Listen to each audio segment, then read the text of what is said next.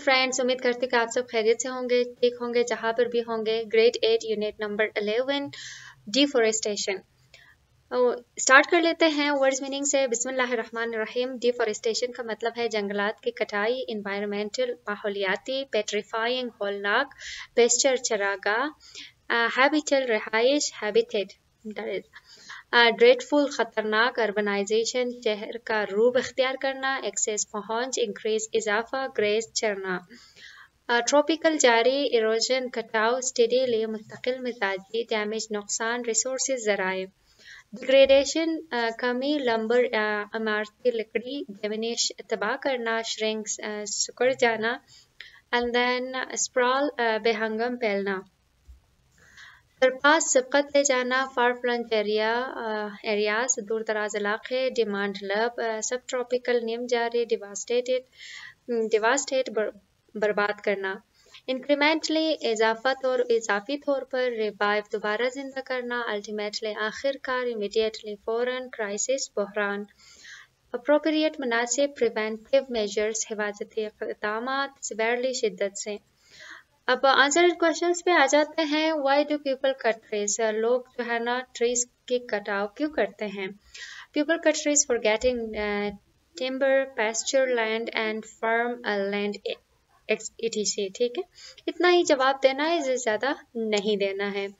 How does deforestation affect the environment deforestation जो है ना कैसे मुतासर कर लेता है माहौल को? Deforestation damages the environment, plants and animal life, diminishes as the natural habitat is severely affected. तो डिफोरेस्टेशन जो है ना वो क्या कर लेता है? डैमेज कर लेता है इन्वायरमेंट के जो प्लांट्स हैं एनिमल्स हैं। ये इनकी जो जो लाइफ होती है, ये ख़त्म हो जाती हैं, ठीक है? और जो नेचुरल हैबिटेट होते हैं, वो स्पेरली इफ़ेक्ट हो जाता है। जैसे कि हम है एयर अगर साफ़ एयर ना ले तो तो question number three highlight the main causes of large scale deforestation process in Pakistan इसकी जो मेन वजह है, वो है लैक ऑफ़ एजुकेशन सच में। The main cause of large-scale deforestation in Pakistan are sprawling growth of cities, increase in the demand of industrial products, overgrazing of land by cattle, sheep and goats, etc.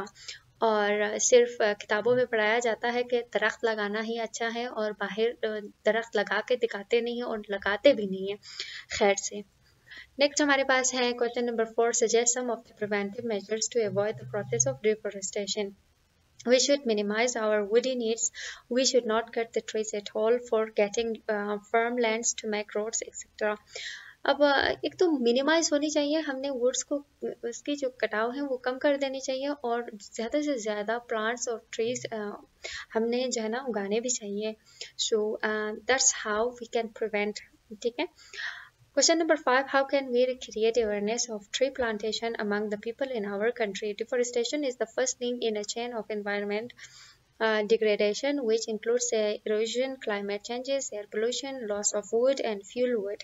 It is dangerous for the life of animals and plants. It uh, uh deteriorates uh, the uh, supply of oxygen, etc.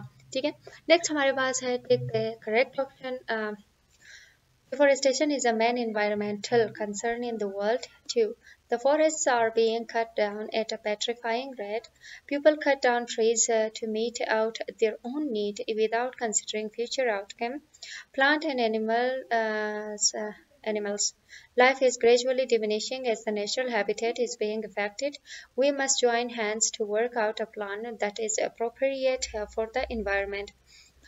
Match the meanings of the following words A degradation की जो मतलब है destroyed और the act of reducing ठीक है? कम कर देना। डिवास्टेटिंग बिकमिंग ग्रेटर या टेरिफाइंग ठीक है? नेक्स्ट हमारे पास है इंक्रीमेंटली टेरिफाइंग बिकमिंग ग्रेटर ठीक है? नेक्स्ट हमारे पास है petrifying the act of reducing to break beyond recovery ठीक है? रियूंट टू ब्रेक बियॉन्ड रिकवरी और डिस्ट्रॉयड ये भी हो सकता है अच्छा हम नेक्स्ट में आ जाते हैं critical thinking there are numerous advantages of forest firstly the forest regulate the atmosphere by increasing the supply of oxygen and absorbing carbon dioxide the forests play a vital role in feeding the wild animals and birds Forests are used in making different kinds of medicines. The wood is also used in making furniture. The forests prevent from landsliding and soil erosion in floods, etc. Write down three paragraphs describing a person, a place, and an object. Take. My cousin Muhammad Ali lives in Lahore with his family. He is a student of MBBS. He is shining student. He always got a discrimination in every test. He is not a bookworm. Uh, he is uh, very smart and a good player of hockey. Not only this, he is a good speaker. He is very courteous and respectful. Ali is my good friend. He is uh, like a hero for me. He always motivates his friends and younger to work hard.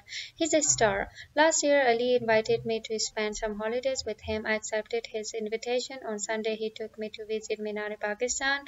I had never seen it before. When we reached there, I, was lost in deep deep thought. The whole history of Pakistan movement was before my eyes. I was thinking of the 23rd March 1940 when the Qaeda Azam announced to get an independent um, country for the Muslims of India. Then I climbed up and had a bird's eye view of the city. Then we walked for a while and returned. Two days later, when I was ready to return, he gifted me a book of poetry, Bangedara by Allama Iqbal. Whenever I have uh, some spare time, I read it, although I have uh, not read it completely, yet some of the poems have impressed me much. Uh, the poems which I like are Shikwa, Jawab Shikwa, and Ambition, etc. Uh, this book is like a treasure for me.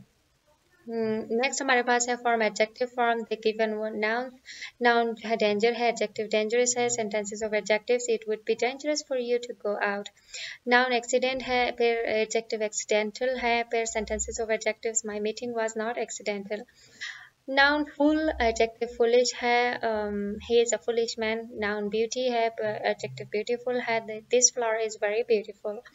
next हमारे पास है wonder wonderful it is wonderful to see you uh, complete the following sentences by using appropriate verb form. I would be perfectly happy if I had a car. Would it be alright if I come around about 7 tomorrow? If I were rich, I would go to Switzerland. If you work harder, you would win. If you ask me nicely, I would get you a tea. So, दोस्तों, उम्मीद करते हैं कि आप सबको ये जो मेरी वीडियो है, पसंद आ गया होगा। अगर